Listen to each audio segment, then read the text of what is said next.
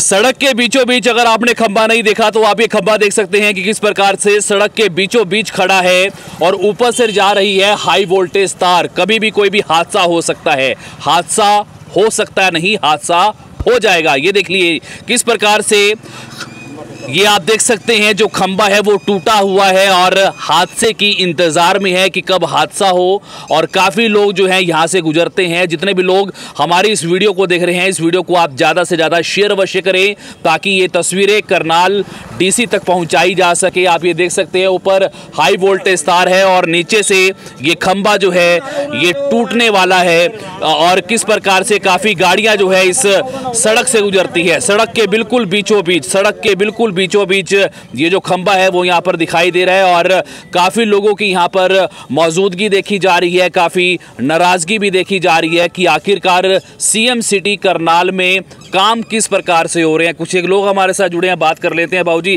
क्या कुछ कहना चाहेंगे?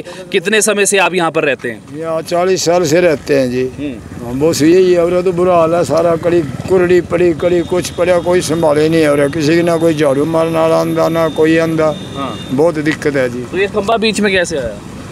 ये कैसे आया? बता जो मैं दूसरी गली में था। कैसे आया बाबू? हाँ जी ये खंबा सड़क पहले बना दी और ये खंबा बाद में गड़ा है और सड़क के बीचों बीच आ गया और टूटा हुआ खंबा है। और ये कभी भी घटना हो सकती है और ये हाई वोल्टेज की तार गई है ऊपर से तैंतीस हज़ार के। वी की और सीवी कॉलोनी वालों के लिए सभी आम रास्ता है ये समझो क्या नाम है सारे शहर का। यहाँ अंडरपास होकर भी जाते हैं लोग और ये खंबा जो है ये कभी भी टूट सकता है। तो स्वाभाविक है कि कोई व्हीकल जो है टक्कर मारी होगी किसी ने? व्हीकल टक्कर मारी है ये पता नहीं किस किसने मारी है कौन मारी है वो आगे भी मार सकता है कोई ना कोई टक्कर तो लग सकती है। इसमें जब इतना टूट गया ये है अब थोड़ी सी और इसमें लगी क्रैकिंग हो गया तो ये खंबा गया और क्या पता क्या हादसा हो सकता है। क्या आप आप यहीं रहते हैं? हाँ जी। क्या काम करते हैं? कबाड़ी का काम है जी अच्छा। हाँ जी। क्या कैसे ये हादसा हुआ? ये हादसा रात को है जी हमको पता नहीं है इसके बारे में। सुनने में ये आया कि कोई ट्रक वाला तोड़ के गया इसको रात को। कौन तोड़ के गया? ट्रक वाला। ट्रक वाला? हाँ जी। तो ट्रक वाला तो तोड़ेगा ना क्योंकि बीचों बीच में ऐसा हाँ बीचों बीच सड़क में है तो टूटेगा तो है ही। हाँ। टूटने के बाद ये तो हादसा ऐसा है कि वो तैतीस हज़ार के भी है ऊपर। इसलिए क्या जो नुकसान हो सकता है लोगों का हमारा भी नुकसान हो सकता है हमारे पास हमारे पास बिल्कुल हम तो नज़दीक ही हैं इसके। तो इसलिए हम सरकार से गुजारिश करेंगे कि जल्द से जल्द इसको एरिया है ये? ये रजबाई रोड सी कॉलोनी है। शिव कॉलोनी। हाँ जी। कितने साल से आप रह रहे हैं? मैं पच्चीस तीस साल से रह रहा तीस साल से रह रहा तीस साल से हाँ जी। तो भाई साहब ये आप देख लीजिए हालात देख लीजिए ये शिव कॉलोनी रजवाए की इस वक्त हम आपको ये तस्वीरें दिखा रहे हैं। खम्बा सड़क के बिल्कुल बीचों बीच और टूटने की कगार में है और ऊपर आप देख सकते हैं हाई वोल्टेज की तार है। कभी भी कभी भी बड़ा हादसा हो सकता है। बरसात के दिन है और बरसात के दिन में अगर ये खम्बा गिर जाता है, नीचे गिर जाता है तो एक बहुत बड़ा हादसा हो सकता है। जितने भी लोग हमारी इस वीडियो को देख रहे हैं, इस वीडियो को आप ज़्यादा से ज़्यादा शेयर अवश्य करें ताकि करनाल डीसी तक जो है इस बात को पहुँचाया जा सके कि आखिरकार ये खंबा ठीक कब होगा? क्या कुछ कहना चाहेंगे? जी, सभी आपके फॉलोवर्स को सभी को नमस्कार। और जितने भी खंबे यहाँ खड़े हैं, सारी सड़कों के बीच बीच खड़े हैं, और मेरी सरकार से ये अपील है भाई इन खंबे को या तो ठीक करा जाए और इसको साइड में करा जाए। और यहाँ पे ना तो कोई सफ़ाई वाला आता, और ना कुछ आता। यहाँ पे ये आपने शौचालय ये शौचालय बंद पड़ी है। जिसका ताला लगा हुआ। और अपना जो रजबाई रोड है सभी बीच में खड्डे खुदे हैं और सारे सीवर ढक्कन खुले हुए हैं। कोई मेन ढक्कन खुले हैं और कोई सुनाई नहीं हो रही कहीं पे भी। कहीं जाए तो कोई सुनाई नहीं करता हमारी। हम इन्हें कहीं पर कंप्लेंट भी करी है कोई सुनाई नहीं हमारी। तो ये खंबा ये खंबा कब टूटा यहाँ से? ये खंबा मैंने परसों देखा था पता नहीं कब टूटा हुआ मैंने तो परसों देखा था। और परसों देखने के बाद मैंने कहा मैं तो कभी भी नुकसान हो सकता है किसी का भी ये नहीं कोई पब्लिक जाती है आती है किसी का नुकसान हो हमने चाहे हमने इसीलिए सरकार को ध्यान में रखने के सड़क के बिल्कुल बीचों बीच में और बताया जा रहा है कि कोई ट्रक वाला टक्कर मार जाता है। तो सड़क के बीच में होगा तो ट्रक वाला स्वाभाविक है टक्कर भी मार जाएगा। जब एक बताओ जब यहाँ पे सड़क पे रास्ता नहीं होगा फिर वो तो टक्कर ही मारेगा।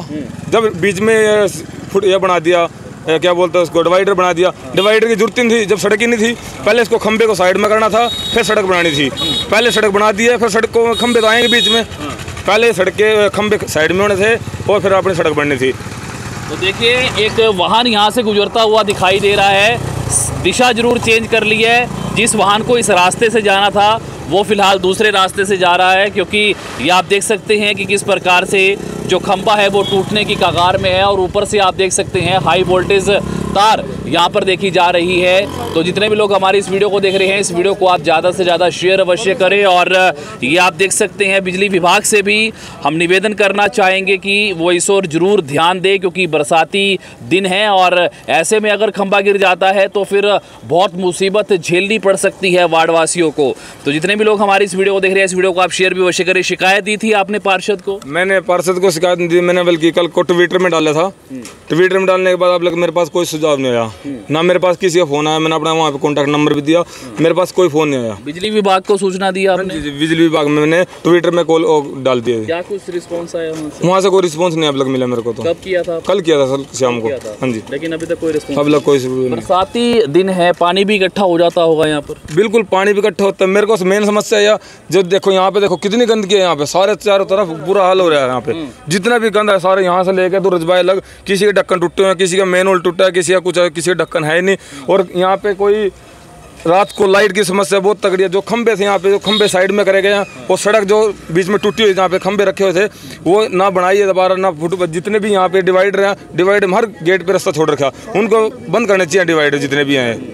ये सिर्फ़ एक दो डिवाइडर का जो हुआ है रास्ता वो खोलना चाहिए और डिवाइडर सारे बंद करने चाहिए। तो सफ़ाई सफ़ाई व्यवस्था नहीं है कचरे वाला नहीं आता यहाँ पर? यहाँ पे वैसे कचरे वाला तो आता है झाड़ू वाला कोई नहीं आता यहाँ पे। यहाँ पे तो कितनी डस्ट यहाँ मिट्टी चढ़ी हुई है सारे पे बुरा हाल हो रहा घास देखो कितना ना कोई कोई नहीं यहाँ पे रिस्पॉन्स मिलता किसी चीज़ का भी। तो चलिए पहले ये खंबा ठीक हो जाए और उसके बाद जो है अगली बात करेंगे। हाँ जी जी ये खंबा पहले सबसे पहले यही मनोहर लाल खट्टर से यही शिकायत था भाई महाराज जो खंबा इसको ठीक किया जाए और इसको साइड में करे जितने भी खंबे हैं सभी को साइड में करे।